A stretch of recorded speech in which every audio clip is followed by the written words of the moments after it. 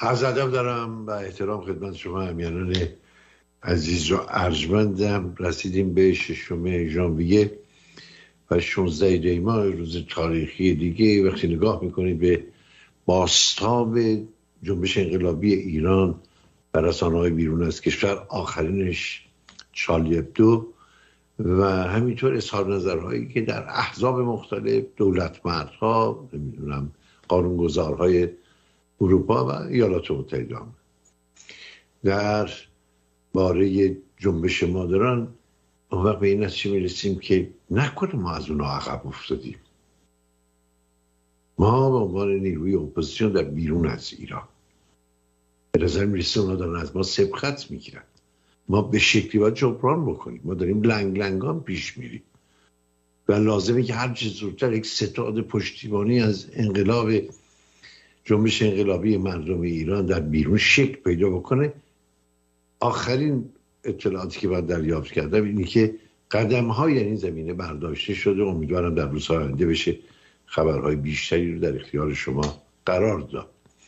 اشپیگل گزارشی داره. نشر مهم اشپیگل از از تهران درباره سالگشت کشته شدن قاسم سلیمانی. عکس بزرگی هم چاپ کرده از صحنه آتش گرفتن تصویر قولاسای قاسم سلیمانی در ایران و ابراز نفرتی که مردم نسبت به او می‌کنن که ازش به عنوان قصاب سوریه یاد میشه. کی بود کنت پولاک بود؟ می‌گفت که قاسم سلیمانی ترکیبی از لیدی گاگا دو سفر هفت و رومل. افسر نازی. ترکیب این عرصه هر حال کسی که در یک جنایت عظیم در منطقه خاورمیانه دست داشته جنایت بزرگ و یکی از مهمترین خیانت های او به مردم منطقه این بود که پای روس ها رو ارتش روسیه رو به سوریه باز کرد باعث کشتار شمار زیادی از مردم سوریه شد. همینطور بیلد رو نگاه کنید عکسی بزرگی چاپ کرده از ترانه علی دوستی یعنی خروج از زندان. عنوان درشش اینه که هنوز از زندان بیرون نیامده هجابش رو برداشت. یعنی دوباره در برابر رژیم ملاها این شخصی قد علم کرد و قانون بیرحمانه اونها رو زیر پا لک کرد. درانه علی دوستی همین آقای ارفان قانعی فرد که کارشناس مطالعات امنیتی است. در لس آنجلس در دانشگاه کار می‌کنه در این زمینه در همین لس آنجلس ما. یک مطلبی داشتن نشنال نیوز اسرائیل در باره برجام. اینکه اگر برجام به جایی نرسه برجام بمیره کما اینکه خیلی از سیاستمدارا در آمریکا معتقدن که برجام مرده. دیگه نمیشه اون احیا کرد نمیشه زنده کرد. و اگر برجام امضا نشه پول به دست ملاها نرسه نه اکثر چیزی بین یک سال تا یک سال و نیم خودشون دچار فروپاشی میشن. خب برای من جالب می‌خوام ببینم که استناد آقای عرفان قانیفر در زمینه چیست؟ به توضیحات رو گوش کنیم. آقای قانیفر خیلی خوش آمدید. اولین برنامه با شما در سال دو بیست بیست و سه. من تو تبریک میگم به رضا کیهان عزیز که داره برنامه رو هدایت می‌کنه. درود بر شما. از ادب و احترام دارم خدمت شما جناب میگودی و همه هموطنان عزیز ارجمند و امیدوارم که سال جدید سال پیروزی مردم ایران باشه در رساخیز ملی که دنبال به من بفهمید که این برداشت من درست بود؟ یعنی اگر برجام امضا نشه و به پول به دست جمهوری اسلامی نرسه ریزش اونا حتی اکثر بین یک سال تا یک سال و نیمه. بله کاملا درست. من به طور هفتگی یا در اندیشکده ها مثلا اندیشکده خاورمیانه خب تحلیل خودمو دارم. دیگه هم در نشنال نیوز اسرائیل مطلبی رو خواهم نوشت. من تصورم اینه که نظام ملایان چند مشکل دارن. یکی مشکل بحران محیط زیست هست که فروپاشی کامل هست.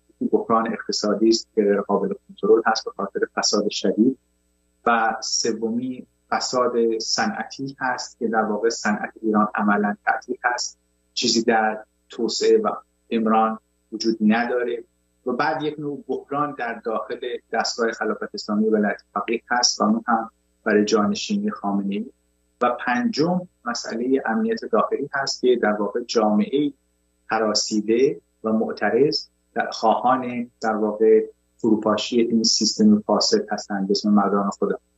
بنابراین این چند تا عامل در کنار هم اگر بذاریم طول می‌کشه این بالاخره راه دموکراسی راه سنگلاخ از گاه یک شبه شده نیست. و مردم ایران حالا این نشیب و فراز رو افتان و خیزان دارن طی می‌کنن. و پیشبینی بنده در تحلیلم این بود که بین یک تا یک سال و نیم دیگه طول خواهد کشید تا بالاخره برخی موانع از سر راه برداشته بشه و برخی چهره هایی که در واقع ادامه جمهوری اسلامی در خارج از کشور هستند از لابیگری خودشون دست بردارن و از تحریف واقعیت ها تا یک سال یک سال و نیم خوشبینانه است که به پیروزی برسیم. آقای غارفر بسیاری از احزابی که توی این صد سال در ایران ایجاد شدن خب ما با تحضب هم آشنایی نداشتیم جامعه دست کم آشنایی نداشته اغلب وابستگی هایی داشتن به قدرت خارجی یکی از شاید بدنامترین اونها نهست آزادی است که تقریبا با بسیاری از دستگاه های استخبارات در خاورمیانه ارتباط داشته مثلا با مصر ارتباط داشته و دوری که عباس شیوانی بود. عباس شیوانی که از تحسین کنندگان جمال عبدالناصر بود. با اینکه اون دوره مصری ها در صوت العرب شعار می‌دادن که اینجا خلاصه خلیج عرب در واقع اونها این به لب رو شکستن و هنوز ادامه به اضافه ارتباط با دستگاه قض استخبارات لیبیست این دیگه قضیه آشکاری است. از طریق آقای ابراهیمی یزدی با دستگاه های امنیتی آمریکا در ارتباط بودن ارتباط دائم بودن. در دوره که خمینی در پاریس بوده اینها مرتبط بودن با دستگاه امنیتی اروپا به ویژه فرانسه و یعنی این بشوده و یه امری نیست که بهشون رو انکار کرد. مثلا دیدم که نهضت آزادی نامه نوشته به شورای عالی امنیت ملی در ایران و هشدار داده که ایرانیان خارج از کشور دارن آلت دست نیروهای خارجی میشن. ممکن در این زمین توضیح بفرمایید. ارز کنم این نهزت مثلا آزادی ولی در واقع بدنامترین و منفورترین افرادی که راهگشایان اهریمن شدن و ایران رو به این حال روز فعلی انداختن و در این جنایت دست دارن اینا همین که شما به درستی و حرفه‌ای اشاره فرمودید. الجزایر مثل یاسر عرفات دیدی صدام حسین اخوان المسلمین یعنی نهاد تروریستی وجود نداشت. این حضرات با اونها رابطه نداشته باشن عکس بوسیدن یاسر عرفات این حضرات مشتاق مصدق قسطنطنیه که وایسادن در صف یاسر عرفات رو ببوسن اون خودش گویای واقعیت تاریخ این نهاد تروریستی هست. در سال 1340 در بهار 1340 وقتی تأسیس شد فکر می‌کنم 25 میشه. در واقع هر لحظه تا, تا امروز چیزی از جنایت و خیانت و مصالح و منافع ملی ایران کم نذاشتن.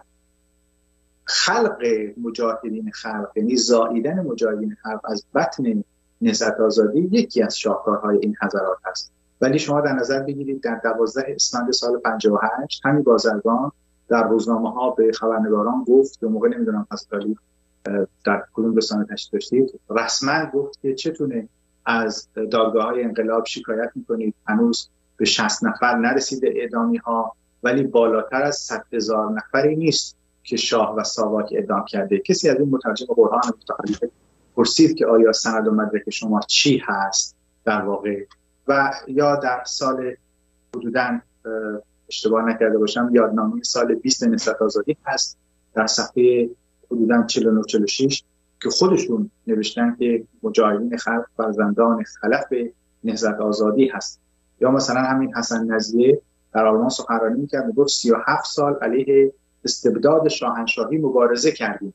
و دانشجوی سوال کرد گفت قربان زندان رفتیم؟ گفت خیر. بعد ایشون داشت راجع به استبداد شاهنشاهی سخنرانی می‌کرد. این اباطیل در واقع در مربع شوم بازرگانی از صحابی طالبانی ادامه داشته تا این لحظه و این حضرات تمام خوبیتشون جمهوری آخوندی است و نمی‌خوان جمهوری آخوندی از بین بره. بنابراین چه نهضت آزادی چه جبهه مثلا ملی و غیره افرادی هستن که دوستان قدیمی نواب صفوی بودن خودشون در یادنامه نهضت آزادیشون نوشتن که رابطه نواب صفوی و فدایان اسلام با حضرات چی بوده و اینها بماند برای فرصت دیگه که بهش اشاره خواهیم کرد. ولی در بهمن 57 چه کسی دست خمینی رو اول بوسید مهدی بازرگان. حالا توقع دارید که ایشون قانون مشروطه رو اجرا بکنه. خیر اینها افرادی هستند که در واقع به جانیان ایران مثل خامنه‌ای خلخالی مکارم شیرازی یزدی و غیره خودشون بیانیه دادن در 16 آبان 56 و گفتن شاه زندانیان سیاسی را شکنجه می‌کند. حالا این اسامی رو جوانان برن تحقیق بکنن که چه جانیانی بودن. یعنی افرادی مثل خامنه‌ای مکارم شیرازی خلخالی اینها رو می‌گفتن زندانی سیاسی. تشکر کنم سندی چاپ شد در نشریه ایران شناسی از نهضت آزادی. من اول باورم نمی‌شد ولی دیدم نه سند درست یعنی خود بیانیه اعلامیه رو منتشر کردن. یکی از اولین سازمان هایی که بعد از اینکه پادشاه ایران حق رأی داد به زنها. به زنها بتونن در انتخابات شرکت کنن انتخاب بشن انتخاب بکنن. نهضت و آزادی است و محمد رضا شاه پهلوی رو متهم کرد به فحشا پروری. یعنی دادن حق رأی به زن به عنوان یک اقدامی در جهت فحشا پروری در ایران قلم داد شد. اصلا انگیزه. این فکولی های ما آخوندهای فکولی ما خیلی بدتر از آخوندهای معمم بودن خیلی بدتر. به حال خود اینها باعث شدن که مردم دچار فریب بزرگ بشن و این راه رو برن که نتیجه رو داریم می‌بینیم. بریم به سال بعد. آقای وقتی جنبش انقلابی در ایران شروع شد خیلی موانع در برابرش بود. فکر موانع داخلی بود.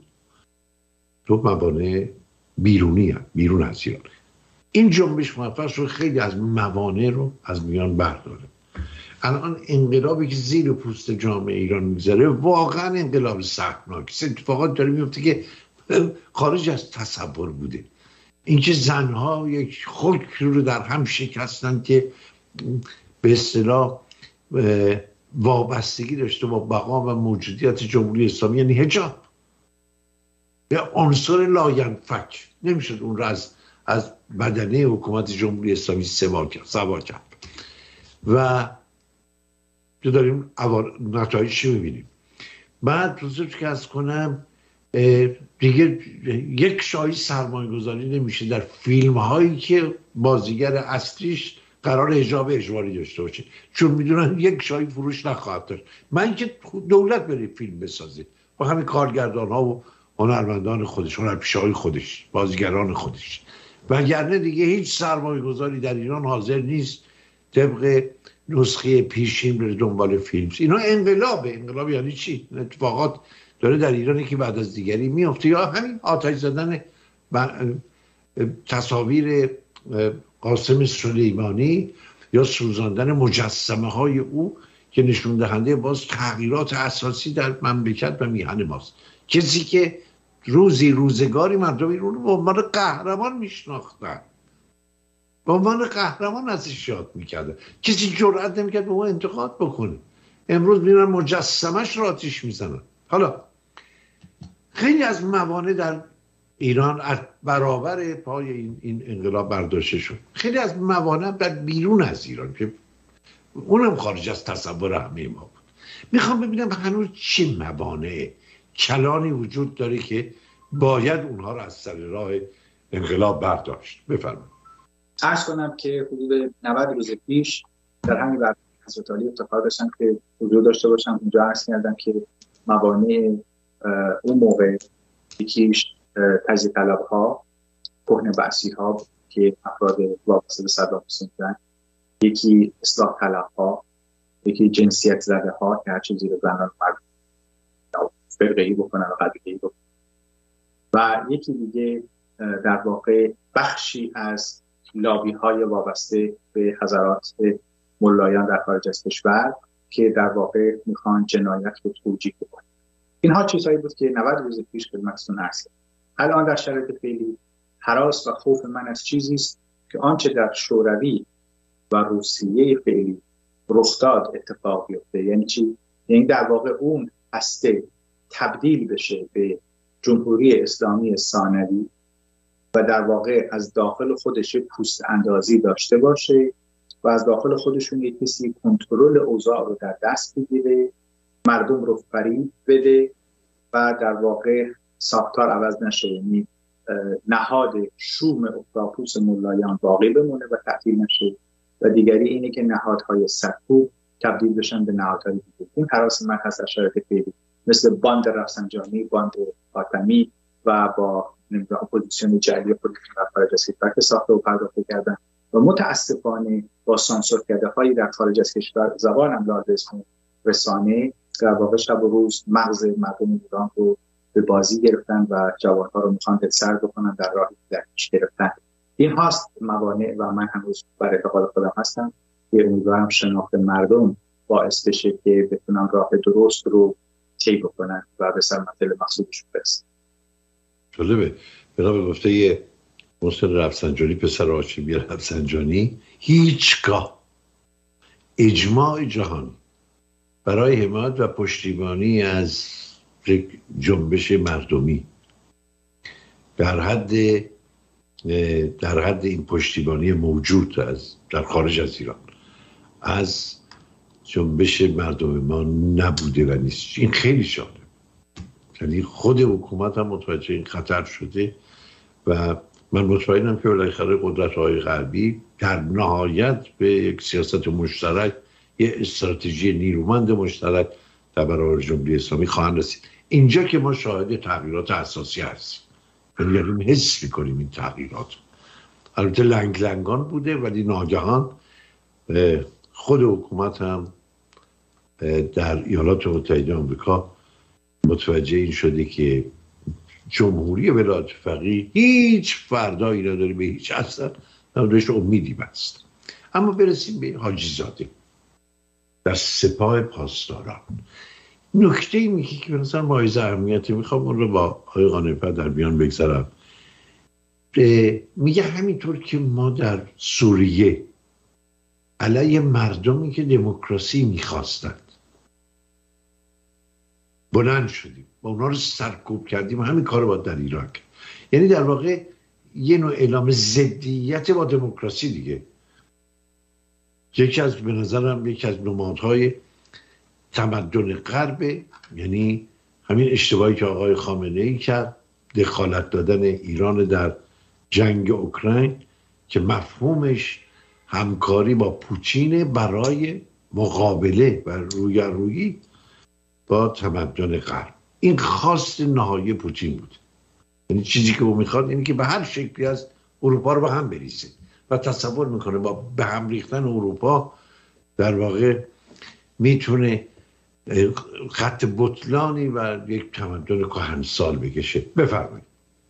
از کنم حاجی زاده در نهادی کار می‌کنه به اسم نهاد تروریستی سپاه پاسداران و نهاد تروریستی سپاه پاسداران مجموعه است از همین اجامر اوباش و افرادی که در واقع از زمستان بیبهار 57 تا این لحظه کارشون همین حرکت در راستای تفکر کمونیسم بود.